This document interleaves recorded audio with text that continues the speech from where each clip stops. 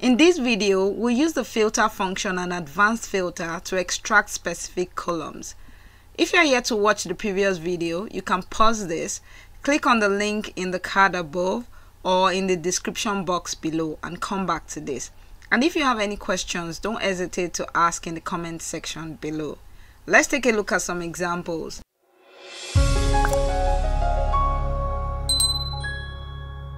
The filter function allows you to extract the information you need based on a defined criteria.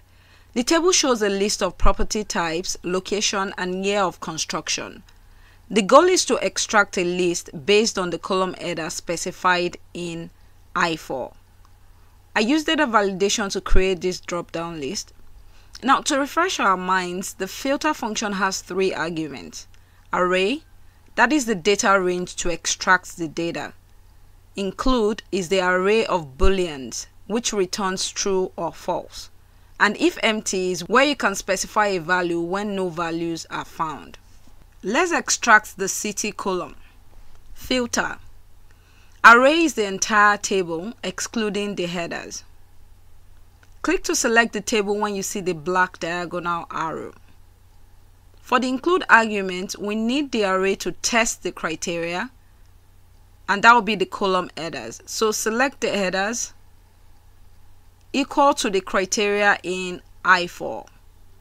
We don't need the last argument, so close the bracket and enter. Now we have a list of items in the city column. I can change it to another field and it will update automatically. Now, what if we need to filter the row based on a criteria? What do we do? Simple we can use a nested filter function. So I'll insert another filter function right before the existing one. Filter, the array will be the column returned by the first filter, comma. Include is where we would specify the criteria. So select property equals commercial. Close the bracket and enter. Now we can filter both columns and rows. How cool is that? Let's take a look at another scenario. Now, what if you want to return multiple columns, say type and year? You see, there are different ways you can do this. However, I'll show you a simple method. Just like the previous example, filter. For array, click to select the table. Include, that's this range, the column headers. Equals the criteria in I enter. It's an error. Remember, the include argument returns true or false, and it will only return the data when it's true. So I need a formula to make the include argument return true. I'll show you in two steps. Let's move over to this cell. Watch this closely. First step is to match the headers in the source data to what I want. So I can use the match function or xmatch function. I'll go with xmatch. If you want to know more about xmatch, you can click the link in the description box below. xmatch returns the position of an item. xmatch. Lookup value are the column headers in the source data. So select the headers. Lookup array are the column headers that I want to extract. Now it would default to an exact match so I can skip the argument, close the bracket and enter. It was only able to match two of the columns and we can see their positions. So how can we change this to true or false? This brings us to the second step. The isNumber function checks if a cell contains a number and if it does it returns true otherwise it returns false so we'll wrap the xmatch function in the isNumber function, which has only one argument. IsNumber value is the position returned by xmatch. Close the bracket and enter. Now we have our formula which will be used in the include argument. So I'll cut and paste it in the formula. Enter. Now we have the columns.